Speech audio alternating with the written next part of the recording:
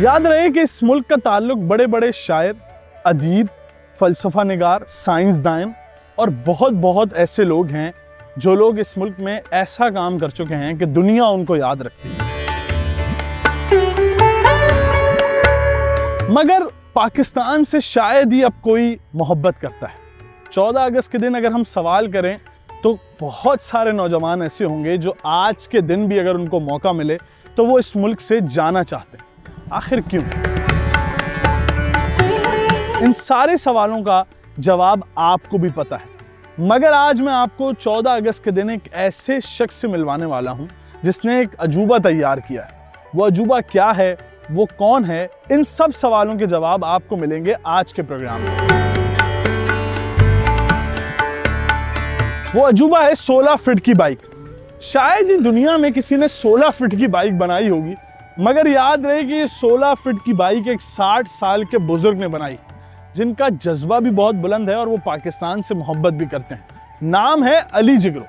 अली जिगरो, तुम कौन हो? अली जिगरो, आखिर तुमने ये बाइक बनाई कैसे और क्यों?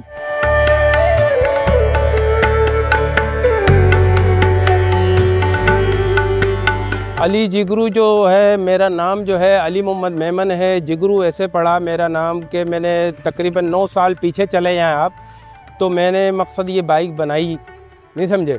तो इसको खड़े होकर चलाया तो लोगों ने लोगों ने बोला, भाई, क्या जिगर वाला है, क्या जिगर वाला है? तो इस वजह से मेरा नाम जिगरू पड़ गया। ये है कहानी मेरी। जिगरू की कहानी यही है कि मैं ये 16 फीट लंबी बाइक पे पूरे एशिया पे रिकॉर्ड है मेरा कि कोई खड़े होकर नहीं चला सकता। मैं चलाता था तो लोग बोलते थे, जिगर वाला है, जिगर है जिगर है। इस वजह से मेरा नाम जिगरू पड़ गया। यार, इतनी बड़ी बाइक बनी कैसे? और ये 16 फिट का आइडिया अली जिगरो के दिमाग में कैसे आया? और फिर उसके बाद क्या अली जिगरो ये सिर्फ़ 16 फिट की बाइक ही का मालिक है, या इसके अलावा भी अजूबे करता रहता है? और भाई साहब, आप हैं कौन? आपने और क्या क्या बनाया है और आप आखिर दिमाग में सोचते क्या हैं ये सब बनाते हुए? मैं असल में शुरू से ही मेरा दिमाग ऐसा है कि मैं एक एंटिक चीज़ बनाऊँ, कोई भी चीज़ बनाऊँ वो मेरे पास हो। नहीं समझे आप? किसी और के पास होगी तो मैं काट दूँगा। ये मेरा जहन है। यानी पुराने टाइम का जो जहन होता है ना कि भाई अगर इसने अच्छी चीज़ बनाई है, सही है, इसके हाथ ही काट दो। कि ये दोबारा ये नहीं बनाए।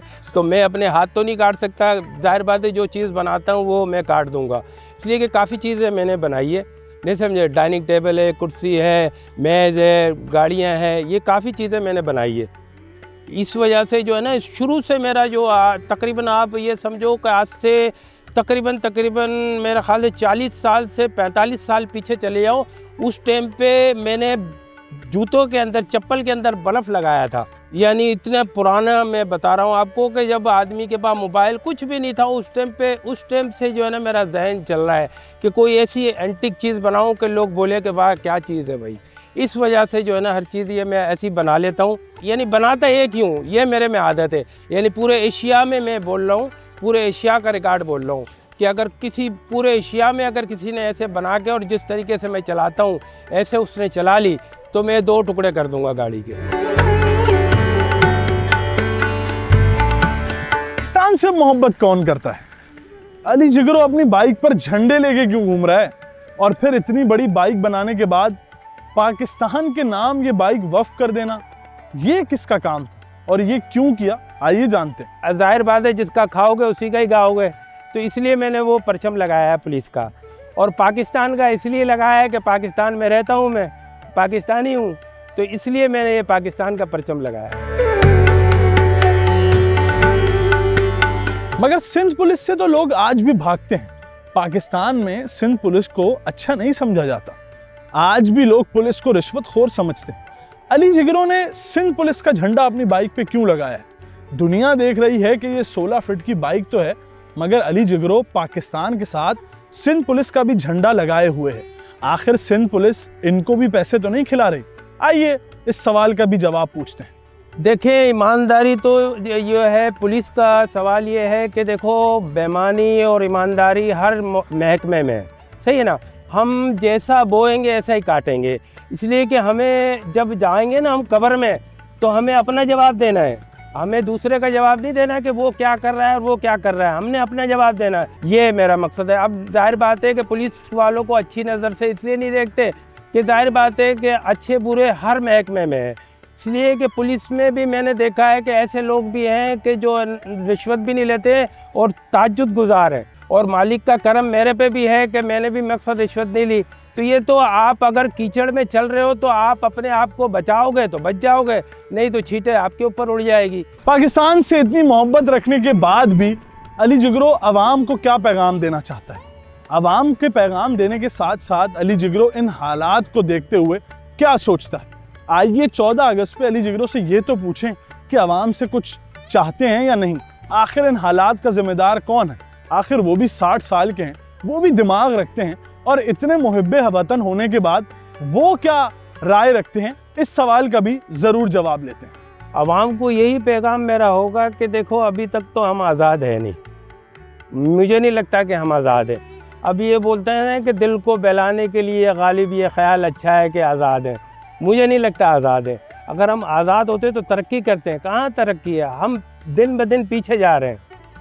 ये है पैगाम मेरा कि भाई ईमानदारी से अपना काम करो। हर आदमी ईमानदारी से काम करेगा तो तरक्की करेंगे।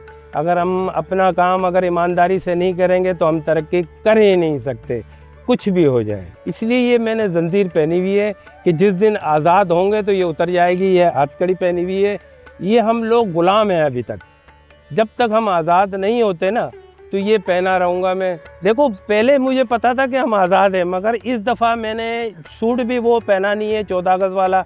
ये काला सूट इसलिए पहना हुआ है, चेन इसलिए डाली हुई है कि मुझे पता नहीं था। अब जाके पता लगा कि हम तो आज़ाद नहीं हैं, हम तो ऐसी खुशियाँ बना रहे थे। मुझे तो नहीं लगता कि हम आज़ाद हैं। वजह यही है कि मकसद कहने का है कि हर चीज़ महँगी हो गई है। गरीब आदमी जो है, वो गरीब तर होता जा रहा है, अमीर आदमी अमीर तर होता जा रहा है। किसी को दो वक्त की रोटी मौसर नहीं है। ये हाल है हमारे पाकिस्तान का। ये हुकूमत मजबूर कर रही है, लोगों को कि चोरियाँ करें। तो ज़ाहिर बात है, बच्चे अगर भूखे होंगे उसके तो वो तो चोरी करेगा ही।